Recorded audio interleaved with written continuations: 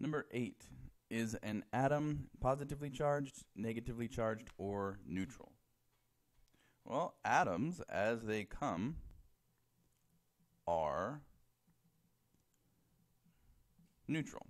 Now, they don't necessarily always stay that way. There's such a thing as an ion, and we'll cover that uh, in the future. But just normally, as they come, as the uh, as they're shown by the periodic table, atoms are neutral, no overall charge. B. Explain how an atom can exist in this state. Well, atoms consist of a positively charged nucleus made up of protons and neutrons, uh, and that is surrounded by a negatively charged electron cloud. The positive and the negative charges, right, positive from the nucleus, negative from the electron cloud, they combine to form a net neutral charge, meaning they balance each other out. The magnitude of the negative charge is the same as the magnitude of the positive charge and so there's no net charge or, aka, uh, atoms are neutral.